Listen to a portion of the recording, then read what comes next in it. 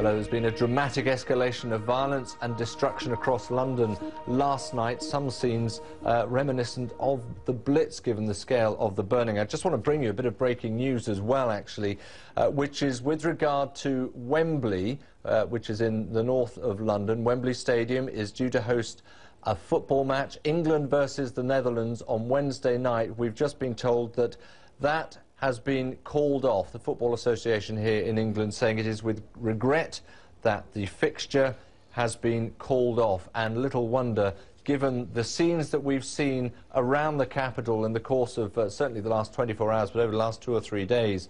But we've seen buildings burning out of control. There's hundreds of youths in uh, at least a dozen different boroughs, looted shops, confronted the police themselves and set vehicles and indeed buildings alight. Just to give you a sense as to where the main flashpoints have been, it really is north, south, east and west, as you can see there.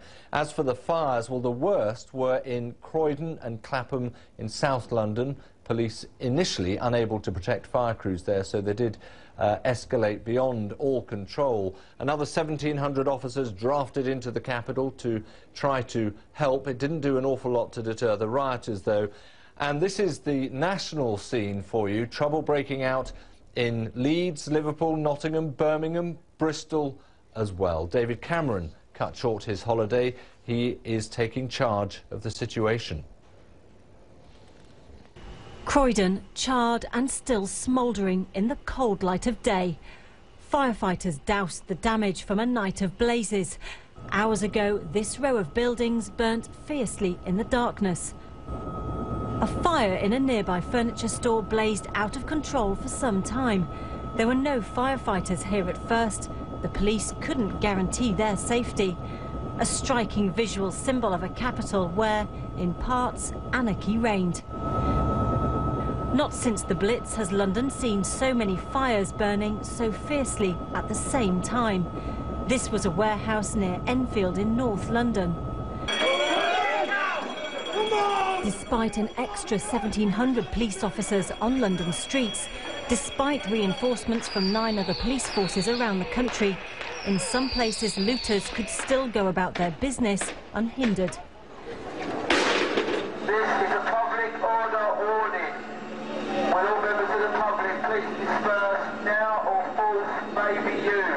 This was Clapham. Here too, fires were started. Local residents said the police seemed to be doing little to protect them. My neighbour's house is on fire. Uh, the, the, the, it's absolutely bedlam on the streets. People have been openly looting this area for an hour, two hours at least since I got here, and the police are seemingly ineffectual. They've done nothing. And this was Clapham from the looters' point of view sizing up the various stores for the products they could steal. Let's watch. Let's get some watches, fam. And violence flared last night in other cities. This was Bristol, the city centre targeted by rioters. Several hundred people caused damage in Liverpool and Birmingham. A new tactic was used by police last night a row of armoured police vehicles used to disperse crowds in the Lavender Hill area of Clapham. It was so successful, senior police officers say they may well use it again.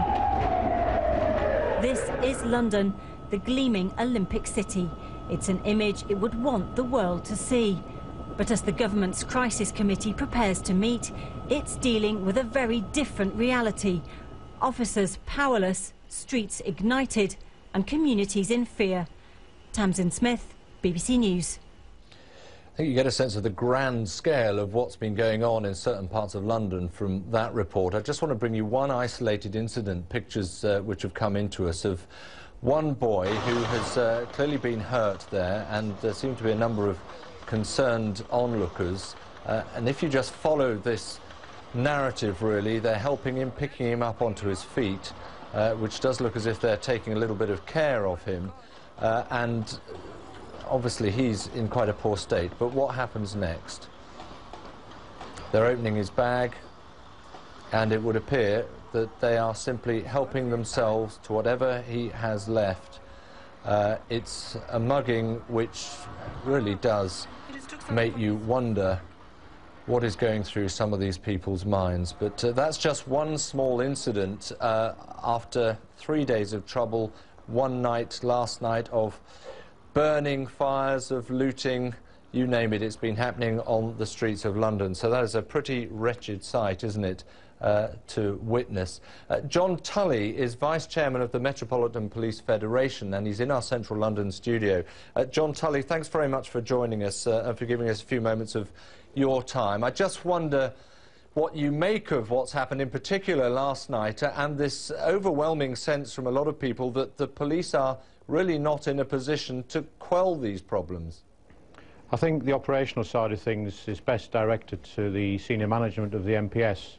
Uh, the acting commissioner made a statement yesterday and we have other senior officers in place who are uh, directing operations. Uh, my members, the people I represent, the people on the front line actually doing the job, uh, facing these uh, absolute thugs uh, for these extended hours of duty, are really doing a fantastic job in very, very trying circumstances. Are there enough of them?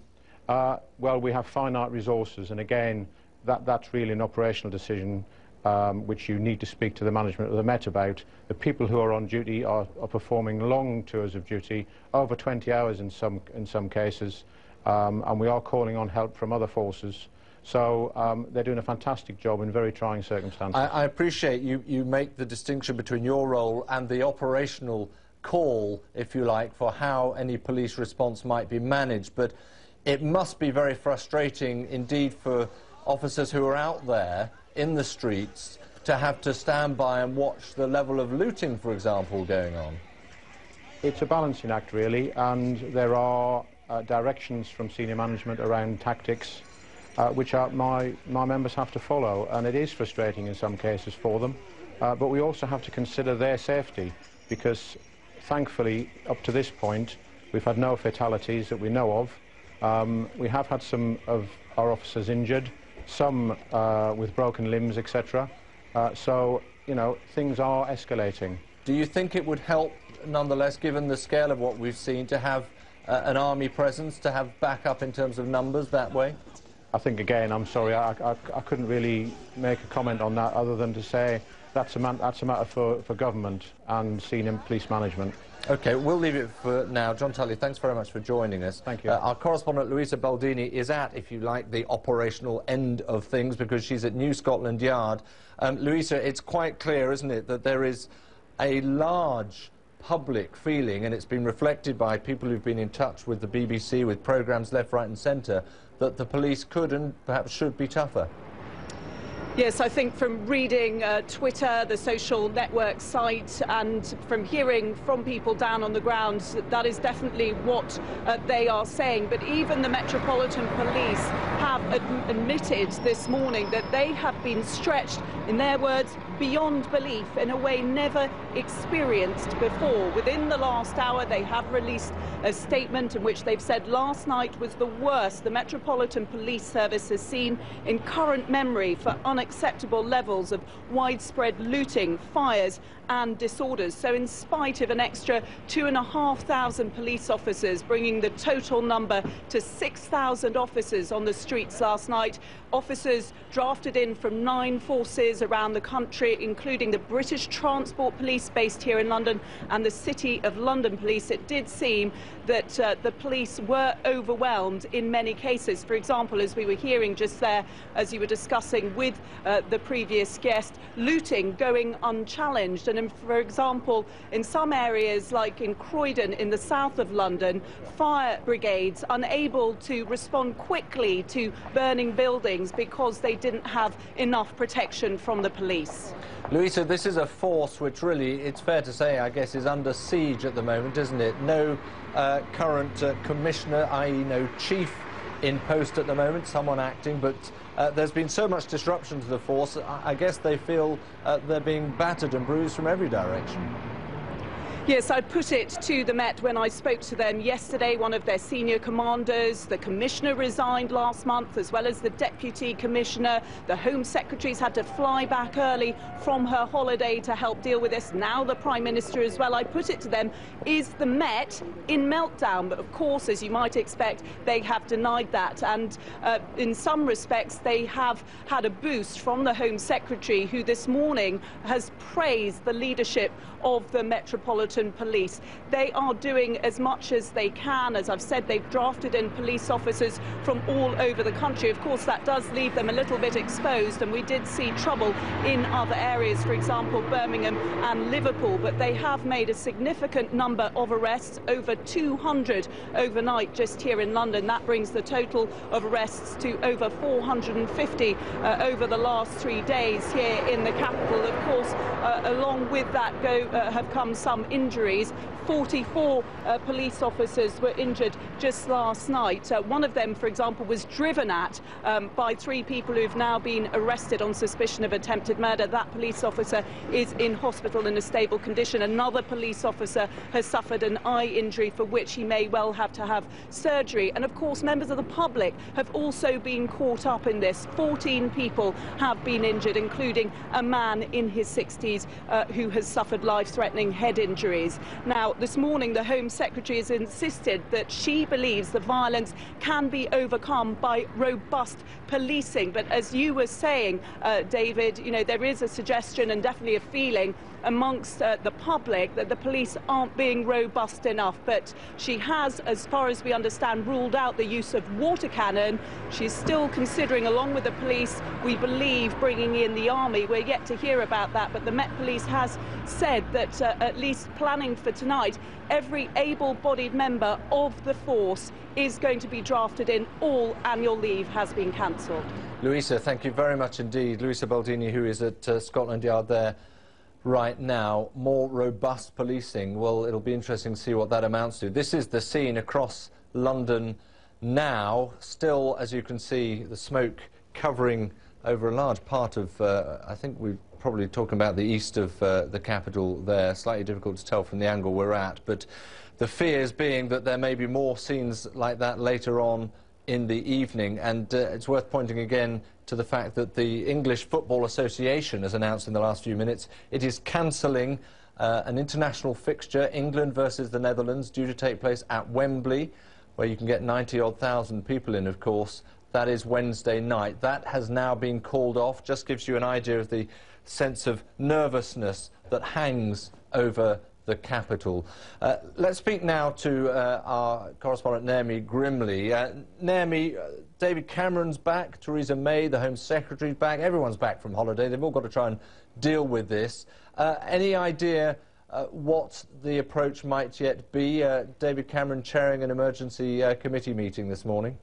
That's right, he is. That meeting, I think, is still going on, and he's under pressure to actually be seen to do something because, of course, perception is everything in this kind of scenario. So we're actually expecting to hear from him. He's going to make a statement in Downing Street in about half an hour. There are various options he could uh, try and, and uh, use. One, uh, as we heard earlier, is to call in the army. The other would be to announce the use of water cannons on the streets of London, though the Home Secretary so far has been very reluctant to uh, entertain that idea. She says that uh, the British model of policing has always been based around community policing and consent, so they're not very keen on that idea. The other thing David Cameron might want to do so that he can appear back in control of law and order is to recall Parliament uh, to discuss the serious nature of what has happened. But uh, he's already faced criticism for not coming back from holiday early enough, so he's certainly going to be under a lot of scrutiny over the coming hours as he grapples to deal with this. Naomi, thank you very much indeed for that. Uh, we'll follow, obviously, uh, any announcement from David Cameron, maybe in about 15, 20 minutes' time. Obviously, that'll be important. I just want to reflect. We've seen on Twitter, for example, uh, perhaps the power of the social media. Uh, there is a, a hashtag for riot cleanup, and all over the capital there are sort of rallying cries, really, for people to gather in their boroughs, in their high streets, near the railway stations, and start clearing up Uh, frankly, one heck of a mess that's been left behind. We can speak now, in fact, to Nick Lawrence, who's in